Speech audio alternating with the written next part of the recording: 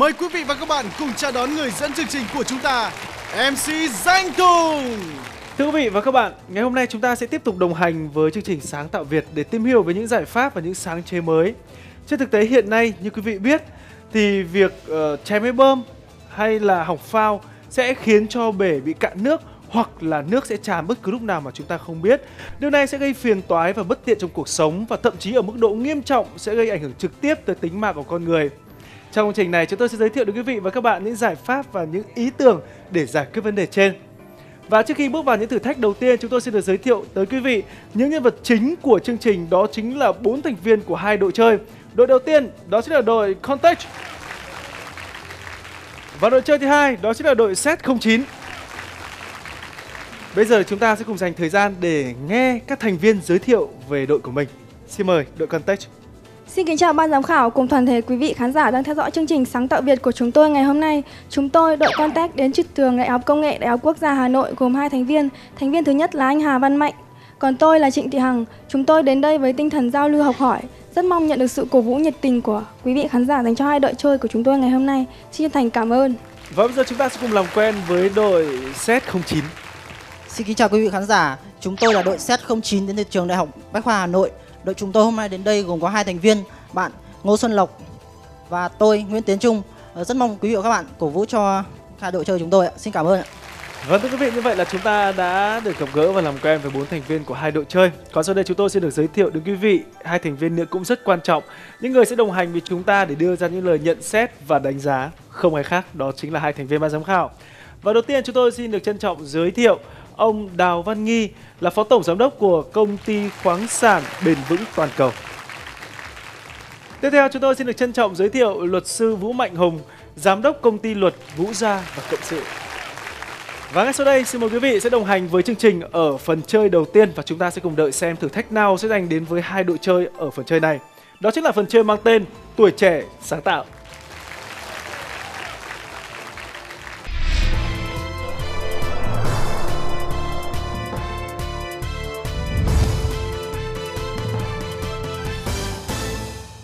Hiện nay, chiếc máy bơm nước là thiết bị không thể thiếu đối với nhu cầu của mỗi hộ gia đình.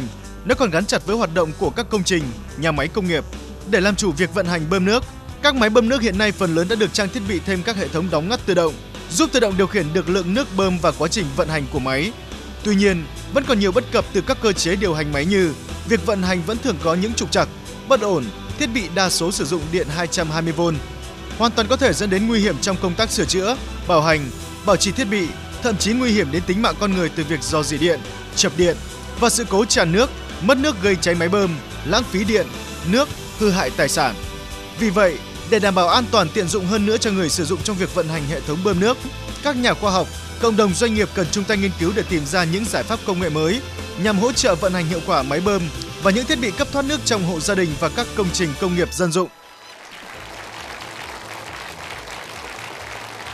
Quý vị và các bạn đang đến với phần chơi đầu tiên của chúng tôi, phần chơi mang tên Tuổi trẻ sáng tạo. Và thưa quý vị và các bạn, ở trong phần chơi này, điều quan trọng nhất và điều chúng ta cần biết đầu tiên đó chính là chủ đề.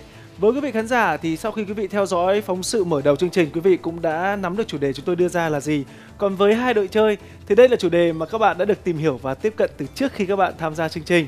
Tôi xin được nhắc lại chủ đề chúng tôi đưa ra đó chính là giải pháp công nghệ mới giúp hỗ trợ vận hành hiệu quả thiết bị cấp thoát nước trong hộ gia đình và các công trình công nghiệp.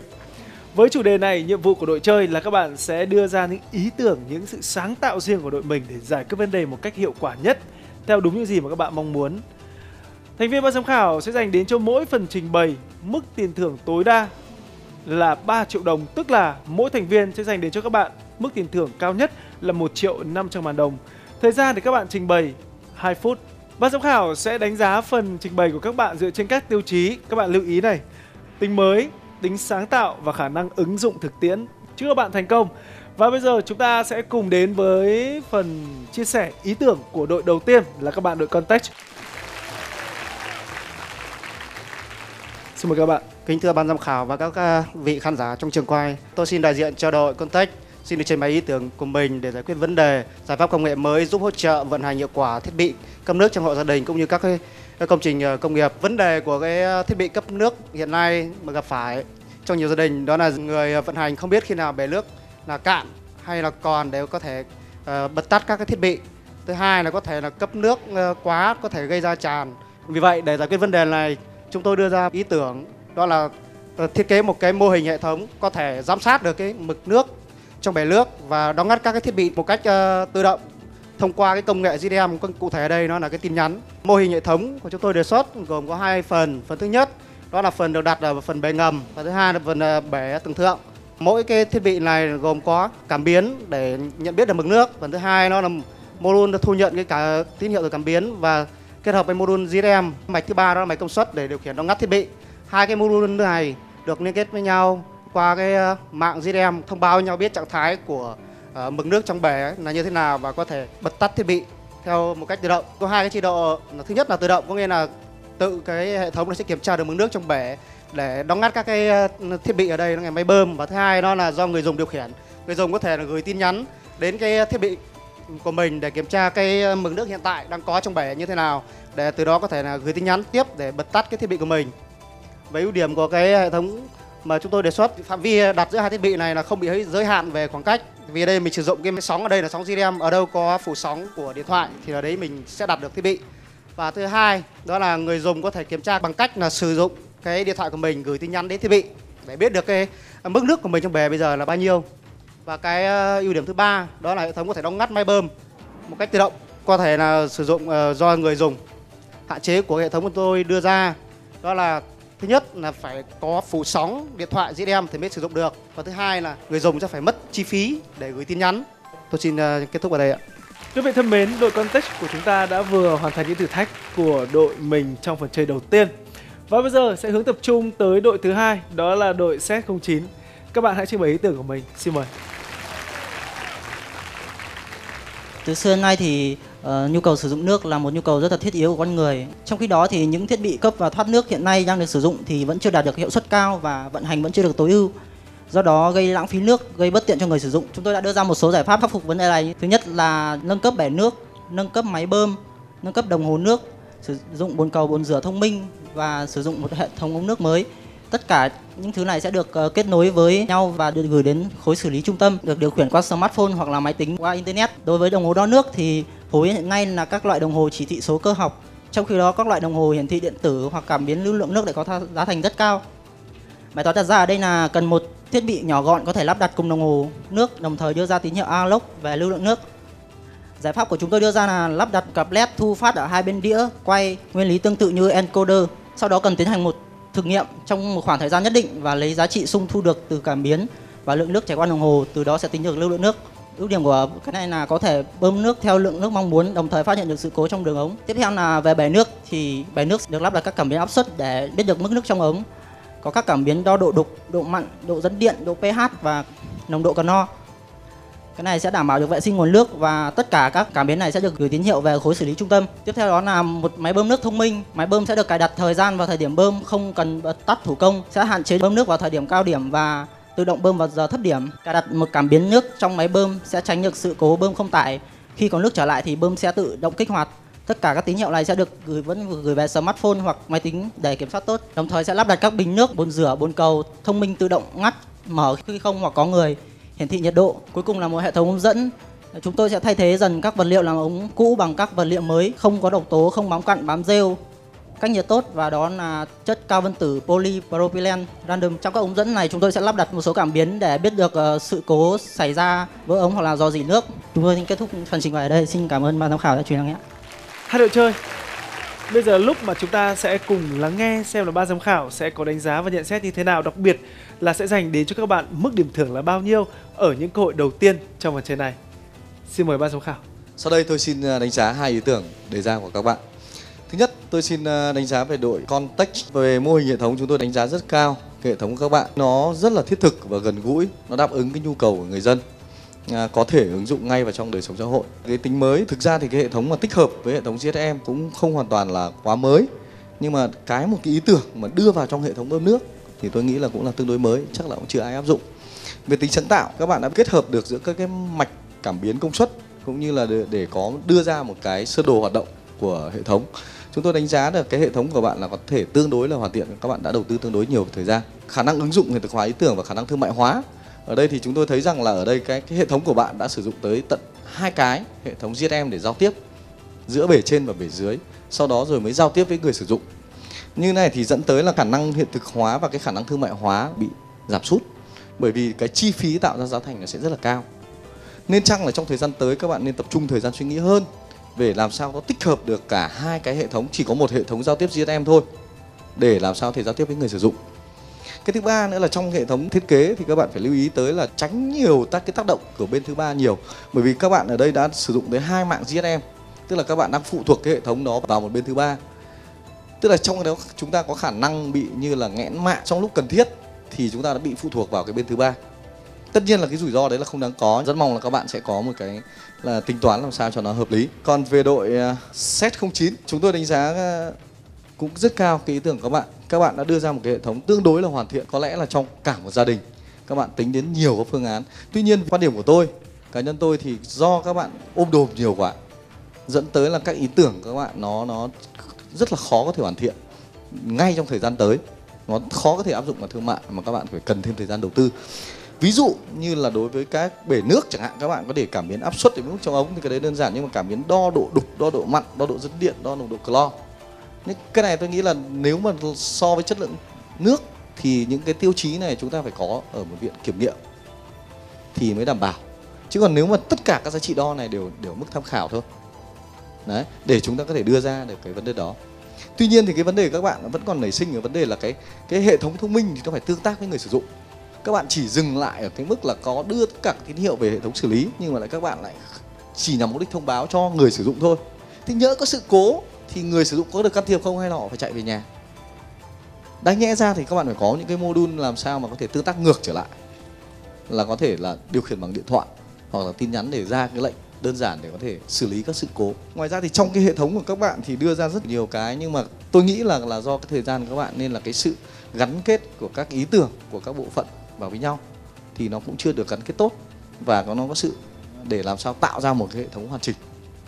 Tất nhiên ở đây ý tưởng thì rất tốt, nhưng mà cái để nó thành hiện thực hóa, để nó thành có thể thương mại hóa được cái sản phẩm này thì tôi nghĩ là các bạn sẽ phải còn đầu tư thêm nhiều thời gian và công sức vào để nó có thể hoàn thiện thành một cái hệ thống đầy đủ rất cảm ơn. Vừa rồi là phần đánh giá của tôi.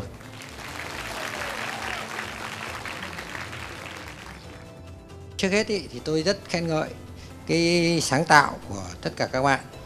Thế trước ờ, hết thì tôi đây xin đánh giá về cái, cái đề tài của cái trường đại học quốc gia. Thì tất cả bây giờ chúng ta đều biết rằng là nước sạch thì là rất là quý rất là hiếm và cấp thoát nước của Hà Nội cũng như của toàn quốc của ta bây giờ cũng là vấn đề rất là lan dài thế nên là tiết kiệm được nước một hạt nước cũng là một tiết kiệm rất lớn cho quốc gia. Thế nhưng mà theo giải pháp công nghệ thì của các bạn ấy thì tôi thấy rằng là đối với cái với các bạn của đại học quốc gia ấy, thì các bạn như là ý kiến của các bạn còn bị lệ thuộc nhiều về các cái tương tác thứ ba. Tức là vẫn vẫn còn phải phụ thuộc vào một cái cái cái cái cái mạng nhà mạng. Còn đối với trường đại học bách khoa ấy, thì các bạn quá ôm đồm vì các bạn cái gì các bạn cũng nâng cấp cả cái gì của các bạn cũng làm mới cả. Thế thì nếu mà các bạn mà cứ nâng cấp lên làm mới như thế này thì cái tính ứng dụng của nó sẽ là thế nào? Một gia đình người ta có dám bỏ ra gần ít tiền để cho các bạn nâng cấp như thế hoặc để tốn một ít nước hay không? Thì đấy thì tôi nghĩ là, là thôi thì ở một cái đề tài này thì các bạn nên tập trung nghiên cứu thêm để làm sao mà giảm được giá thành và sát với cái cuộc sống của người dân hơn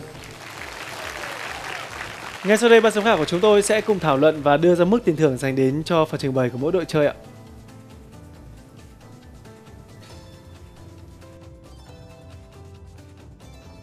Sau đây thay mặt ban giám khảo chúng tôi à, xin đánh giá và cho điểm của hai đội như sau. Tiêu chí đánh giá về tính mới của giải pháp công nghệ của hai đội đưa ra. Đối với đội Set 09, ban giám khảo chúng tôi cho 850 điểm. Đối với đội Contech chúng tôi cho 900 điểm. Đánh giá về trình độ sáng tạo và giải pháp công nghệ thì ở đây chúng tôi cho đội Set 09 là 900 điểm. Đội Contact là 950 điểm. Khả năng ứng dụng và hiện thực hóa ý tưởng và khả năng thương mại hóa thì đội Set 09 được 800 điểm và đội Contact được 900 điểm. Xin cảm ơn ban giám khảo. Và thưa quý vị, như vậy là hai đội chơi của chúng ta đã có được những mức tiền thưởng đầu tiên trong quỹ của mình. Chúng tôi xin chúc mừng đội Contact hiện nay các bạn đang sở hữu số tiền sau phần chơi đầu tiên đó chính là 2 triệu 750 ngàn đồng. Xin chúc mừng. Còn đội set 09 thì các bạn nhận được số tiền thưởng là 2 triệu 550 ngàn đồng. Xin chúc mừng các bạn. Chúng ta sẽ cùng đến với những thử thách tiếp theo của chương trình dành đến với hai đội chơi ở phần chơi tiếp theo, phần chơi mang tên Đi tìm nhà sáng chế.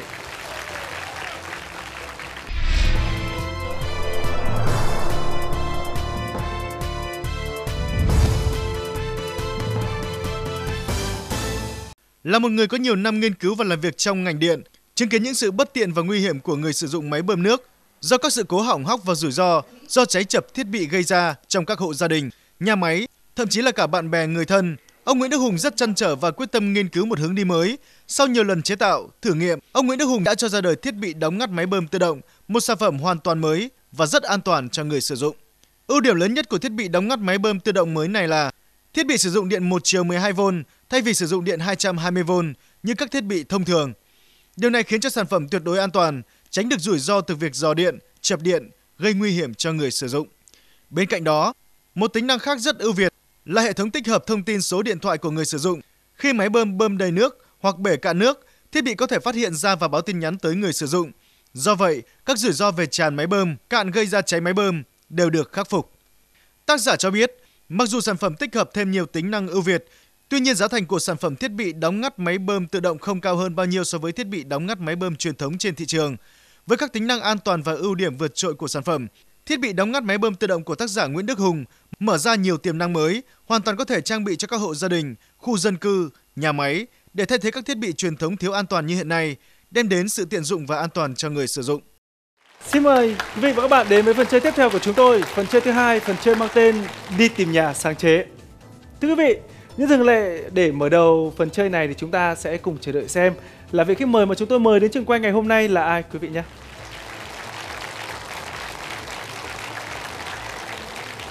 Xin chào anh ạ.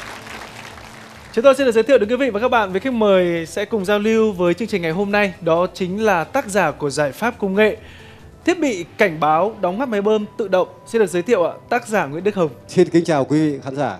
Xin kính chào hai vị giám khảo. Xin chào bạn anh Tùng. Xin chào bốn bạn trong hai đội chơi. À, vâng, thưa tác giả là theo như quan sát của tôi thì tôi thấy là các hộ gia đình xung quanh mình cũng như là ngay bản thân gia đình tôi thì thường là sử dụng thiết bị phao phao điện tự động À, vậy thì tác giả có thể uh, chia sẻ là với cái thiết bị với cái giải pháp công nghệ này của tác giả có ưu điểm gì vượt trội hơn so với phao điện tự động hiện nay mà rất nhiều hộ gia đình đang sử dụng không ạ? Vâng. À, tôi đã biết rằng khi cái phao điện ra đời là một sự thay đổi rất lớn trong ngành công nghệ bơm nước dân dụng. Nhưng mà xét về mặt kỹ thuật thì tôi thấy có ba nhược điểm rất lớn mà tôi cần khắc phục.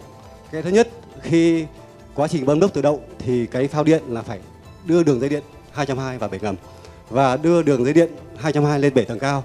Như thế là luôn rình rập cái sự nguy hiểm cho khách hàng, cho người tiêu dùng.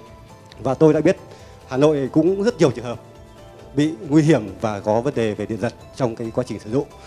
Cái thứ hai nữa là trong bể nước ngầm thì cái phần công tắc nằm dưới bể nước ngầm, thì hơi nước nó luôn luôn động và gây ra việc gì tiếp xúc chập chờn. Như thế là trong quá trình bơm nước, máy bơm lẽ ra là cạn nước, máy bơm không bơm, nhưng mà do công tắc đóng cho máy bơm cứ bơm, dẫn đến cháy máy bơm. Cái trường hợp này rất nhiều. Trường hợp thứ ba là cái đường dây điện nối từ máy bơm lên bể mái, bể nước cao ấy, thì rất nhiều lý do gây bị đứt. Có thể do chuột cắn, có thể là do tự nhiên đứt trong quá trình sử dụng. Ờ, cái giải pháp này mà khi mà đứt đường dây đó thì khắc phục rất khó khăn. Thì tôi nghĩ rằng là cái ba cái lý do đó là tôi có giải pháp giải quyết bài toán này. Bằng cách là cái mạch cảm biến của chúng tôi khi đưa vào bể ngầm thay hoàn toàn phần phao điện. Mà không có điện dẫn đến đó, nó chỉ là một cái vôn một chiều rất thấp và không nguy hiểm đến tính mạng con người. Và cái thứ hai là độ nhạy của cái mạch cảm biến rất cao. Nó chỉ hơi hở một chút, hay là hơi chạm vào nước là đã sự thay đổi và dẫn đến máy bơm tắt hoặc là bật cái thứ ba nữa là khi mà đường dây điện từ máy bơm lên bể mái đất thì tôi dùng bằng giải pháp phát sóng mà tôi đã tính toán suy nghĩ, thử nghiệm trong một năm nay và cái hệ phát sóng của tôi đã được thử nghiệm và tôi rất đảm bảo cho cái việc là an toàn và à, và rất ừ, đảm bảo cho việc phát sóng không bị đứt đoạn và máy bơm liên tục hoạt động tốt. À, ở ở đây tôi thấy là có mô hình của giải pháp công nghệ của tác giả và mới nhìn vào tôi rất là khó tưởng tượng không hiểu là nó sẽ hoạt động như thế nào. À, vậy thì tác giả có thể ờ, nói cho chúng tôi biết cụ thể về cái nguyên lý hoạt động của cái thiết bị này không ạ? Vâng, tôi sẽ uh, trình bày để quý vị khán giả nắm được cái quy lý hoạt động của nó. Cái đầu tiên thì tôi coi như cái mô hình đây là cái mô hình là bể ngầm. Cái mô hình đây là mô hình bể chết mái, có thể là nhà 5 tầng hay 10 tầng. Thì trong cái phần chính của cái phần thiết bị cảnh báo máy bơm nước của tôi là cái bộ điều khiển trung tâm là cái bộ này. Cái bộ này thì nó gồm có điện nguồn cắm vào và cái phần điện nối vào máy bơm và trên mặt của cái hộp điều khiển trung tâm nó gồm có ba đèn, một đèn nguồn và hai đèn cảnh báo ở trạng thái uh, cạn nước và trạng thái tràn nước trong quá trình bơm nước. Ngoài ra cái dây cảm biến ấy được nối từ hộp trung tâm với bể ngầm và cái dây cảm biến được nối từ phần phát sóng với bể tầng cao. Thì cái phần bể ngầm ấy thì cái quá trình đặt cái dây cảm biến này có thể là cách mặt đáy là bao nhiêu tùy theo cái mức khán giả đặt. Bởi vì trong quá trình bơm nước thì nước cạn dần và hở đầu dây cảm biến ra thì lúc đó máy bơm tự tắt. Và đồng thời đèn cảnh báo hoặc là còi nhạc trên bộ điều khiển trung tâm này nó sẽ xuất hiện. Còn phần hai là trong quá trình bơm nước mà bể trên máy đầy chạm đến cái đầu cảm biến phía dưới thì lúc đó cái phần phát sóng được kích hoạt và phát ra tín hiệu. Tần số phát sóng phát xuống cái phần thu ở bể tầng 1 phần thu nhận được tín hiệu và sẽ đồng thời ra lệnh cho ngừng máy bơm.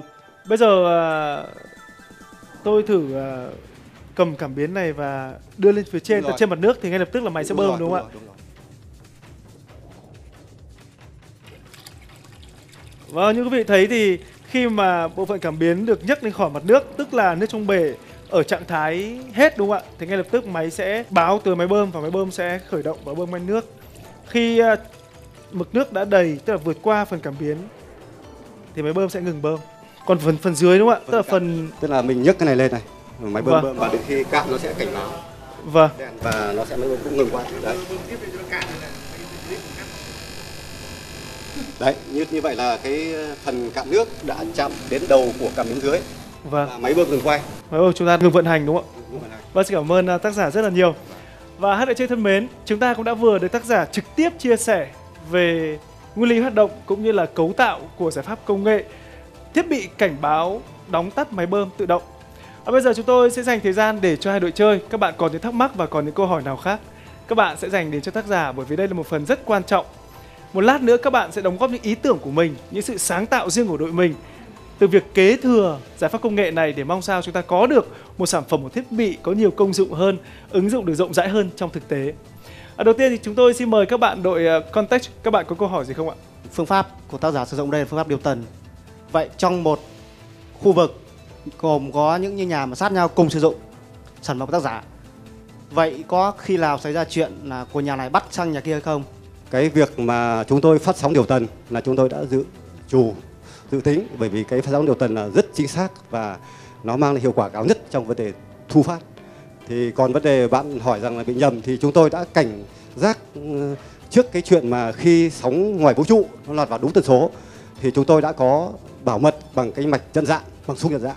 Cái sung này ờ, khi nó nhận đúng dạng tín hiệu của phần phát thì nó mới cho mở thông và làm cho hệ mạch điện tử làm việc. À, tiếp theo xin mời đội Set 09. Cái bộ phát sóng này chú sử dụng là sóng gì ạ? Và đối với những nhà cao tầng thì bộ sóng này có thể dùng được không ạ? Ờ, tôi xin trả lời. Ờ, chúng tôi ờ, thường dùng hiện nay là phát sóng radio và với những nhà cao tầng hay thấp tầng với chúng tôi không quan trọng bởi chúng tôi nâng công suất thì chúng tôi sẽ đạt hiệu quả. Thậm chí ờ, có thể mấy trăm mét chúng tôi cũng có thể đáp ứng được với khách hàng.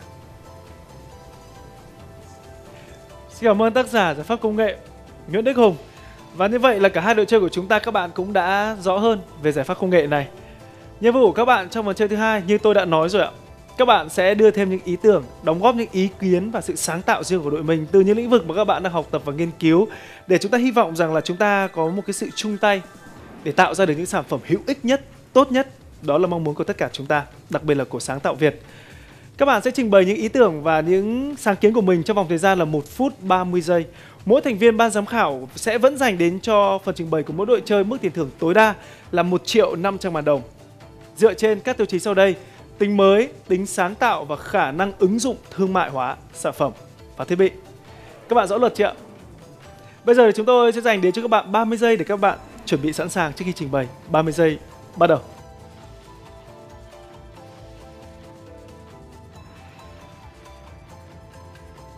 Vâng, và thời gian 30 giây để các bạn chuẩn bị đã kết thúc. Ở phần chơi thứ hai này thì chúng tôi muốn nghe phần trình bày của các bạn đội ờ, set 09 trước. Kính thưa ban giám khảo, kính thưa nhà sáng chế. Đối với bể trên, nếu sử dụng một dây bao tràn thì khi nước xuống dưới dây bao tràn thì nó sẽ bơm và lên dây bao tràn thì nó lại ngắt. Và khi đó thì máy bơm sẽ đóng ngắt liên tục. Và theo đôi tôi cải tiến thì sẽ sử dụng thêm một dây dài hơn dây bao tràn, tạm gọi là dây bóng ngắt. Thì khi đó sẽ có một khoảng nước khi uh, nước ở dưới dây báo ngắt thì sẽ bơm còn đến chạm đến dây bao tràn thì nó sẽ ngắt máy bơm. Ờ, thứ hai là đối với sóng FM thì có thể sử dụng một chuẩn truyền thông mới, chuẩn truyền thông Zigbee và chuẩn truyền thông này sẽ sử dụng công suất thấp hơn, tránh lãng phí về điện và có thể chuyển uh, truyền thông xa hơn, dễ lắp đặt và có thể bảo mật tốt hơn. Đối với bộ phát sóng trên cao thì có một pin sử dụng năng lượng mặt trời thì sẽ nạp trực tiếp vào pin thì thời gian pin sẽ sử dụng lâu hơn. Vâng, xin cảm ơn đội set 09. Tiếp theo chúng tôi đang chờ đợi phần đóng góp ý kiến của các bạn đội Context. Kính thưa ban giám khảo, kính thưa các vị trường quay, kính thưa tác giả. Thì ờ, đội chúng tôi thì cũng có một vài cái góp ý nhỏ. Thứ nhất là về vấn đề mà có thể bị bắt nhầm. Bác có thể là uh, ứng dụng những cái ờ, IC số có những cái ờ, mã truyền thông mã hóa dữ liệu riêng của nó. Chỉ có bên nhận và bên thu mã giải mã đúng thì mới thực hiện cái lệnh được nhận được. Và thứ hai là về cái thiết bị của mình đây gắn ở phía trên tầng nhà nên là nhiều lúc là mình cũng không thể kiểm tra nó là pin hết hay là còn mình có thể chuyển từ pin sang điện một chiều thôi thì trong đấy là mình có thể làm thêm một cái mạch gọi là để sạc sạc cho pin hoặc là ắc quy cũng được và cái uh, góp ý thứ ba nếu có thể thì ờ, để hoàn thiện hơn cái sản phẩm của mình thì bác có thể ứng dụng các cái công nghệ mới hiện tại để ừ, các cái nhà sử dụng có thể uh, biết được cái tình trạng mực nước của mình trong các bể như thế nào tình trạng hoạt động nó tốt hay không. Thì cũng có thể ứng dụng các cái công nghệ mới như ờ, cái ý tưởng của đội ờ, cháu đưa ra là sử dụng các cái công nghệ GTM hoặc là smartphone để kiểm tra được cái mực nước. Đấy đấy là đưa ra những cái quy định mới cho cái hệ thống của mình. Tôi xin hết. Và thưa quý vị, vừa rồi thì chúng ta đã vừa được nghe những sự đóng góp, ý kiến, sự sáng tạo của hai đội chơi dành đến cho giải pháp công nghệ của tác giả Nguyễn Đức Hùng. Còn bây giờ thì chúng tôi muốn nghe trực tiếp là tác giả có suy nghĩ gì về những đóng góp vừa rồi của hai đội ạ? Dạ, thứ nhất là tôi xin cảm ơn ờ, hai bạn trong hai đội chơi. Thì tôi mới giải thích ờ, từng trường hợp một. Trường hợp đầu tiên của bạn đội chơi này thì tôi giải thích thế này này là đối với cái hệ thu phát sóng ấy mà tôi thiết kế ấy, thì tôi bao giờ cũng đặt những tiêu chuẩn là ờ, chính xác nhất, giá thành rẻ nhất và đơn giản trong cái việc sửa chữa. Ờ, cái đó là tôi đặt tiêu chí. Thế còn đâu ờ, cái khoảng cách xa là tôi nâng công suất. Tôi nâng công suất lên thì có thể đạt um, theo cái chiều cao nhà 10 tầng, 20 tầng. Còn ờ, cái ờ, sóng um, hoạt động của từng cái bộ thu phát của tôi là tôi đã tính toán sẵn rất chặt chẽ từ cái tần số, từ cái mức độ giảm thiểu các cái tín hiệu bên ngoài vũ trụ lạc vào. Cho nên cái việc sai sót về đóng bị nhầm tín hiệu là gần như không không thực hiện được bởi vì tôi đã thử nghiệm rất lâu. Tiếp nữa thì tôi cũng trả lời với bạn câu này này. Trong cái bộ này tôi đã có một cái ổ cắm sẵn điện một chiều. Khi nào mà có cái sự cố về pin thì cắm vào, hoặc là khi bật lên thấy đèn nó không đủ độ sáng thì tôi sẽ dùng cái bộ đồ điện để tiếp tục cho nó hoạt động Vâng và chúng tôi cũng xin được cảm ơn tác giả Nguyễn Đức Hùng vì đã nhận lời mời tham dự chương trình ngày hôm nay và giới thiệu với chúng tôi một thiết bị tôi nghĩ là rất cần thiết và hữu dụng trong cuộc sống hàng ngày đúng không ạ? Gần như là bây giờ với nhà cao tầng thì nhà nào chúng ta cũng cần phải sử dụng thiết bị như thế này, đặc biệt là có thể thay thế cho phao điện tự động. À, ngay như bản thân gia đình chúng tôi thì cũng gặp rất là nhiều rắc rối về phao điện. Lúc thì uh, phao bị kẹt lúc thì đúng là dây điện bị cắn. Thì tôi cũng tin rằng trong thời gian tới thì cái thiết bị này của tác giả sẽ sớm được hoàn thiện hơn và ra thị trường để người sử dụng có thể tiếp cận và sử dụng. Và một lần nữa xin cảm ơn à, tác giả rất nhiều ạ.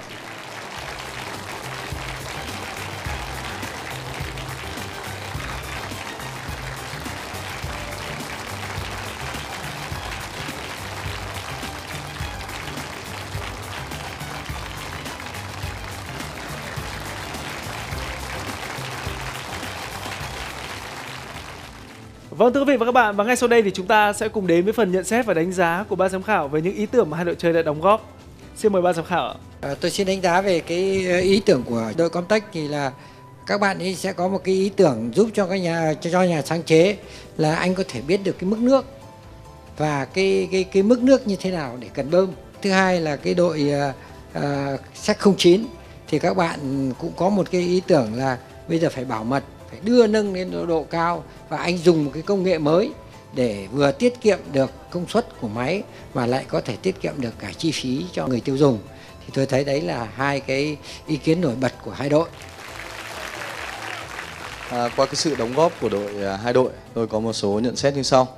Đối với đội Contact, các bạn đã đề xuất ra một ý kiến đó là sử dụng cái IC số để có thể mã hóa và truyền tín hiệu một cách tốt hơn, không bị xung nhiễu giữa hai cái nhà hai bên có thể là bị xung nhiễu, đúng không ạ?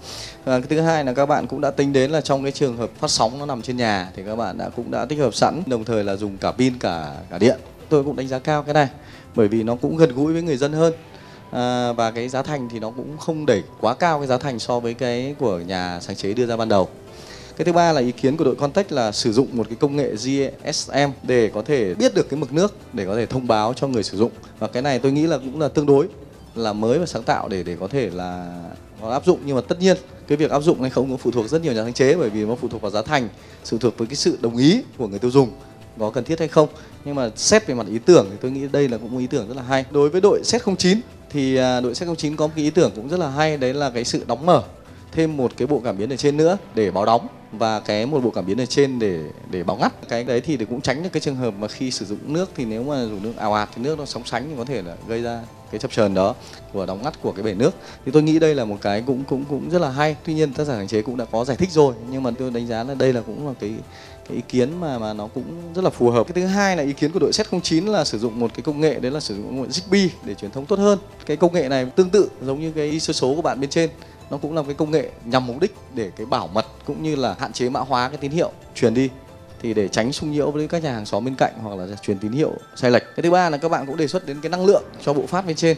Cái đấy là cũng một vấn đề rất là lớn, bởi vì ở một số vị trí thì có thuận lợi, một số vị trí thì rất khó để có thể lên mà thay thế được. Thì các bạn đề xuất một cái pin công suất nhỏ cộng với cái nạp năng lượng mặt trời. Xét về mặt như vậy, về quan điểm cá nhân của tôi sự đóng góp của hai đội hoàn toàn rất là hay và phù hợp. Tuy nhiên thì cái mức độ phù hợp với người dân mức độ áp dụng về về tính áp dụng thương mại thì tôi đánh giá cao cái đội contact hơn là đội của set 09 bởi vì các bạn đưa ra những cái giải pháp mà nó gần gũi thiết thực. Đội set 09 thì những ý tưởng của các bạn tôi đánh giá rất là cao. Tuy nhiên là nó có thiết thực hay không thì nó còn phụ thuộc vào cái sự người tiêu dùng. Bởi vì nó nó sẽ làm đội giá thành của sản phẩm. Đấy nhận xét của tôi. Còn à, sau đây thì chúng tôi sẽ bàn bạc và cho điểm của hai đội.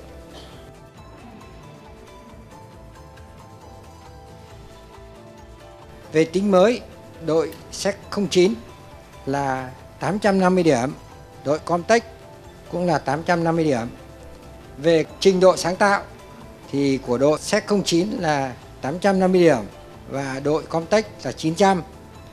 Còn về cái khả năng ứng dụng ờ, và thương mại của đội SEC 09 là 900 và đội Comtech là 950. Xin cảm ơn ban giám khảo và một lần nữa thì chúng tôi xin chúc mừng cả hai đội chơi. Các bạn đã có thêm những mức tiền thưởng trong quỹ của mình. Và hiện nay thì mỗi đội đang có tổng mức tiền thưởng như sau. Đội Context, các bạn đang sở hữu số tiền là 5 triệu 450 ngàn. Xin chúc mừng các bạn. Còn đội set 09 thì các bạn đang có là 5 triệu 150 ngàn đồng. Xin chúc mừng. Thưa quý vị, thay mặt những người thiện chương trình tuần này, chúng tôi cũng gửi lời cảm ơn chân thành tới hai thành viên của ban giám khảo đã đồng hành cùng với chúng tôi ở phần chơi đầu tiên và phần chơi thứ hai. Xin được trân trọng cảm ơn ạ.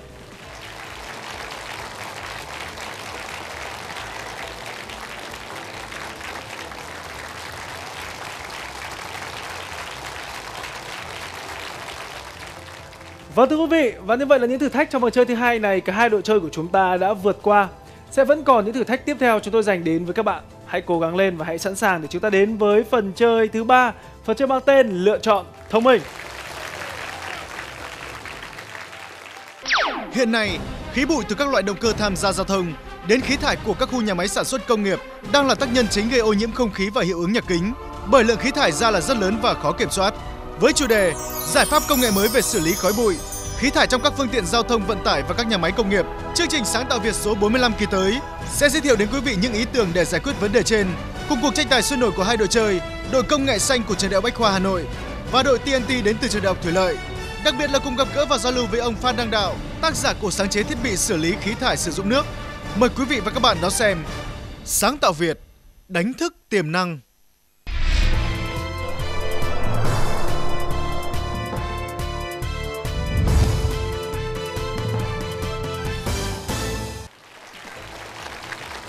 Thưa quý vị và các bạn, chúng ta đang đến với phần chơi tiếp theo của sáng tạo Việt, phần chơi mang tên lựa chọn thông minh.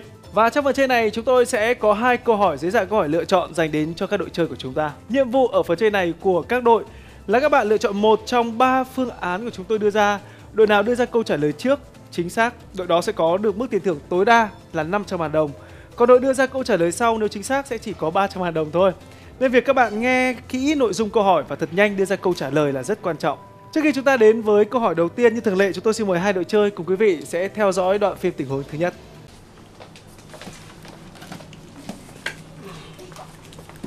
Anh, Ừ.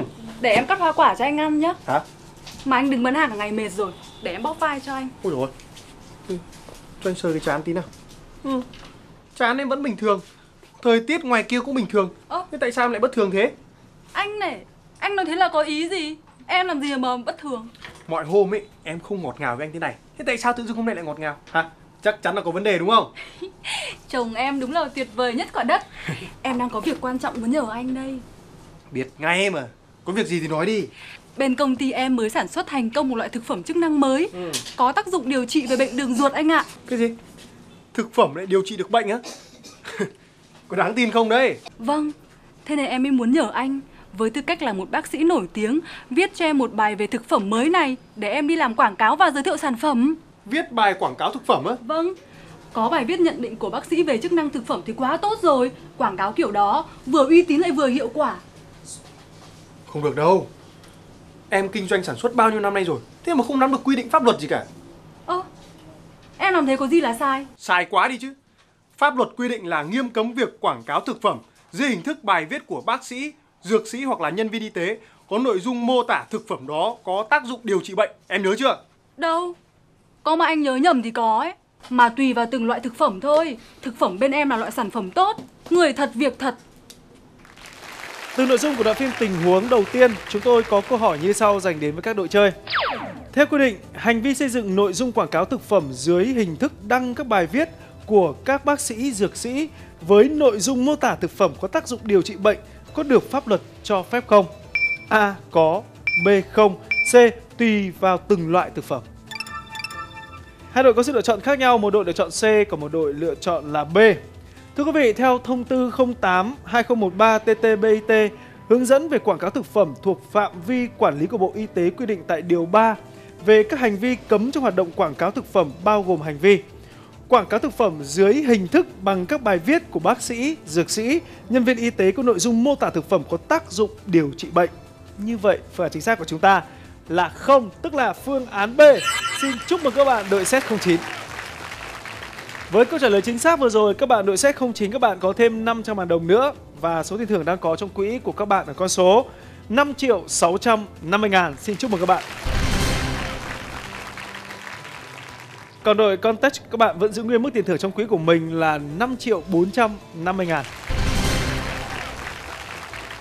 Các bạn đội set 09 các bạn đã tạm thời vươn lên dẫn đầu và mức chênh lệch tiền thưởng giữa hai đội chơi cũng không quá cao. Vì vậy mà câu hỏi tiếp theo là một câu hỏi rất quan trọng để chúng ta biết được đội nào sẽ có mặt trong vòng thi đặc biệt của chúng tôi. Bây giờ sẽ là đoạn phim tình huống thứ hai. Dạ em chào sếp ạ Thế cậu Tuấn đâu? Dạ anh Tuấn ạ Dạ em đây ạ Dạ báo cáo sếp Em chào sếp ạ Cậu Tuấn này Dạ Tôi giao cho cậu việc lập kế hoạch tổ chức buổi hội thảo giới thiệu sản phẩm Cậu triển khai tới đâu rồi? À, dạ em đang triển khai à Đang triển khai à? Đang triển khai của cậu là đang ở mức độ nào? À dạ em đã liên lạc để thuê hội trường lên kế hoạch tổ chức à, đã liên lạc với các bên để chuẩn bị nhân sự dạ báo cáo sếp là em cũng đang định cuối giờ là em với lan báo cáo sếp cụ thể ạ Nào Dạ thưa sếp ạ Anh Tuấn có giao cho em việc lên danh sách khách mời Và Ừ. liên lạc tổ chức để tổ chức hội thảo ạ Em cũng đã đang triển khai rồi ạ Thế em có gặp vấn đề gì vướng mắc không? Dạ thưa sếp, về việc lên danh sách khách mời thì em đã lên xong Nhưng còn việc đăng ký với cơ quan nhà nước thì em chưa làm ạ hình như chúng ta phải thông báo việc tổ chức hội thảo cho cơ quan quản lý về an toàn thực phẩm ạ. Thế thì em phải triển khai ngay đi chứ. Thời gian tổ chức hội thảo sắp diễn ra rồi mà thủ tục vẫn chưa xong là không được. Dạ báo cáo sếp, theo em ấy, cái việc thông báo cơ quan quản lý về an toàn thực phẩm ấy là không mang tính chất bắt buộc. Công ty chúng ta cũng chỉ tổ chức hội thảo thôi. Việc này là việc nội bộ mà. Ai bảo anh thế? Việc tổ chức hội thảo giới thiệu thực phẩm không đơn giản như anh nghĩ đâu. Nó là việc truyền thông quảng bá và giới thiệu sản phẩm, không phải là việc nội bộ đâu. Tôi thấy cô Lan nói có lý đấy. dạ vâng, Lan có lý ạ. Dạ, thưa sếp, để tổ chức hội thảo, chúng ta cần phải xin giấy xác nhận hồ sơ đăng ký hội thảo của Chi cục An toàn thực phẩm nơi chúng ta tổ chức hội thảo ạ. Sao lại hình như?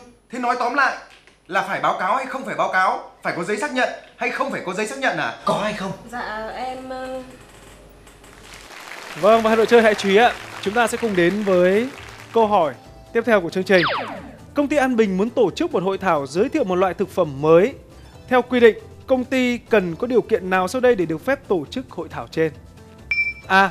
Thông báo về kế hoạch tổ chức hội thảo đến Chi cục An toàn vệ sinh thực phẩm. B. Phải có giấy xác nhận hồ sơ đăng ký hội thảo của Chi cục An toàn vệ sinh thực phẩm. Và C. Việc thông báo với cơ quan quản lý an toàn vệ sinh thực phẩm không mang tính bắt buộc. Cả hai đội lần này đều lựa chọn là phương án B, tức là theo các bạn là phải có giấy xác nhận hồ sơ đăng ký hội thảo của Chi cục An toàn vệ sinh thực phẩm. Theo chúng tôi quan sát thì đội Set 09 là đội chơi đã đưa ra phương án trả lời trước.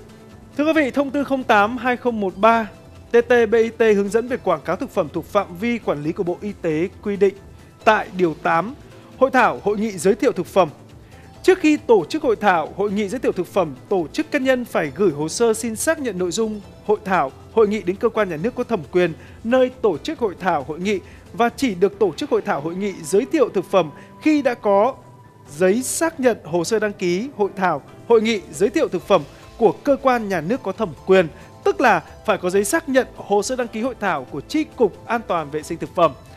Đó chính là phương án B. Xin chúc mừng cả hai đội chơi với câu trả lời hoàn toàn chính xác.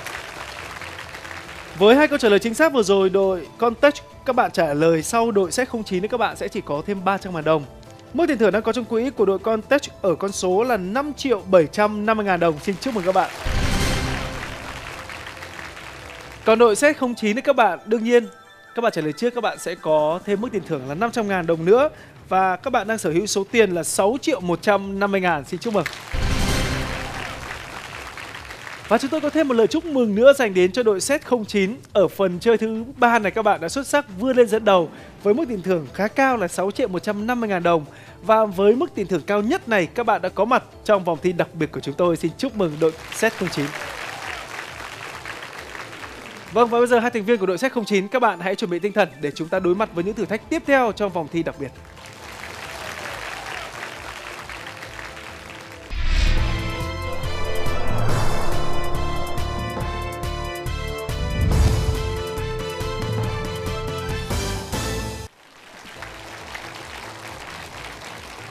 Quý vị và các bạn đang đến với vòng thi đặc biệt của chúng tôi dành đến cho đội set 09 là đội xuất sắc nhất sau 3 phần chơi trước. Chúc mừng các bạn bởi vì các bạn đã có mặt tại vòng thi đặc biệt. Chúng ta chỉ cần biết kết quả của vòng thi đặc biệt này ra sao thì các bạn vẫn là đội xuất sắc nhất trong chương trình ngày hôm nay.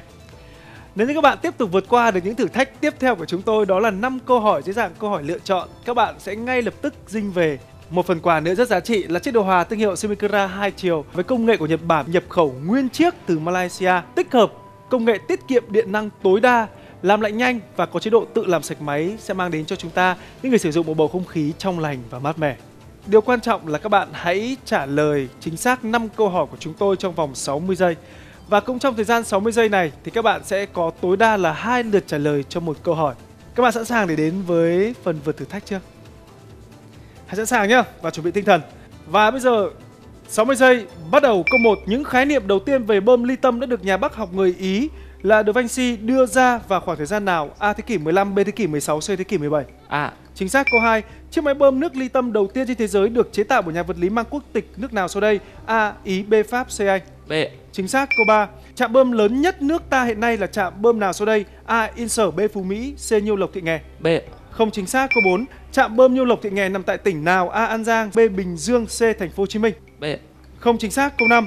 Công suất hoạt động tối đa của trạm bơm Nhiêu Lộc Thị Nghè là bao nhiêu? A 64.000 m3 trên giờ, B 74.000 m3 trên giờ, C 84.000 m3 trên giờ. C. Không chính xác. Câu 3.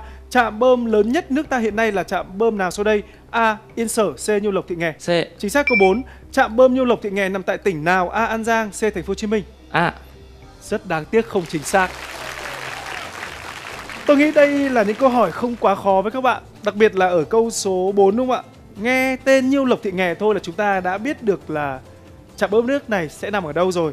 Đáp án của chúng tôi chính là phương án C ạ, tại thành phố Hồ Chí Minh. Ở câu số 5, công suất hoạt động tối đa của trạm bơm nước Nhiêu Lộc Thị Nghè là 64.000 mét khối trên giờ, tức là phương án A, chứ không phải là phương án C như các bạn đã lựa chọn. Thưa quý vị và các bạn, trạm bơm Nhiêu Lộc Thị Nghè là trạm bơm lớn nhất nước ta hiện nay, nằm tại số 10 Nguyễn Hữu Cảnh, phường 19, quận Bình Thạnh, thành phố Hồ Chí Minh. Trạm bơm được khởi công xây dựng vào năm 2003 và đưa vào hoạt động vào tháng 10 năm 2012 với vốn đầu tư hơn 370 tỷ đồng, có công suất là 64.000 mét khối trên giờ. Đây được xem là công nghệ chống ngập đắt giá quy mô nhất Việt Nam thuộc dự án cải thiện vệ sinh môi trường lưu vực Nhiêu Lộc Thị Nghè, thành phố Hồ Chí Minh. Hứa hẹn sẽ góp phần giảm ngập úng và ô nhiễm cho lưu vực rộng khoảng 33 km vuông với khoảng 1,2 triệu dân. Rất đáng tiếc cho đội set 09 Tôi biết là các bạn đã rất cố gắng rồi. Tuy nhiên thì các bạn vẫn còn hai câu trả lời chưa chính xác và chúng ta đã phải dừng lại thử thách. Vì thế mà chiếc điều hòa thương hiệu Semikura này sẽ vẫn tiếp tục ở lại với chương trình. Nhưng không sao cả, với chúng tôi các bạn vẫn là đội xuất sắc nhất trong sáng tạo Việt tuần này và điều đó cũng đáng để chúng ta nói lời chúc mừng tới các bạn một lần nữa. Xin cảm ơn các bạn. Quý vị và các bạn thân mến, sự sáng tạo và những cải tiến không ngừng đó chính là những yếu tố quan trọng để giúp chúng ta có được những sáng chế hay là những giải pháp công nghệ. Và với chương trình sáng tạo Việt, chúng tôi luôn mong muốn nhận được những sáng chế và những giải pháp công nghệ của quý vị bởi vì chúng tôi hy vọng rằng chúng tôi sẽ là cầu nối để đưa những sáng chế và những giải pháp công nghệ đó vào thực tiễn. Chương trình sáng tạo Việt tuần này của chúng tôi xin được tạm dừng tại đây. Một lần nữa chúng tôi xin cảm ơn sự chú ý theo dõi của toàn thể quý vị và các bạn. Xin chào và hẹn gặp lại vào tuần sau.